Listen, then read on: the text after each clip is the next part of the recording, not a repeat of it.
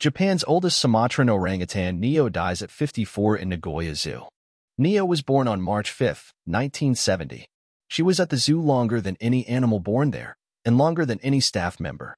She was beloved by many for her intelligence, such as popping the caps off bottles to drink, and for her calm demeanor. Neo's appetite had been decreasing due to tooth pain since around August 2023.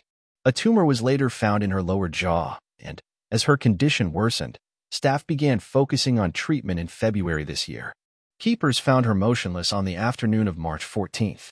A stand for the public to leave flowers will be set up inside Neo's enclosure from March 16th to 24th.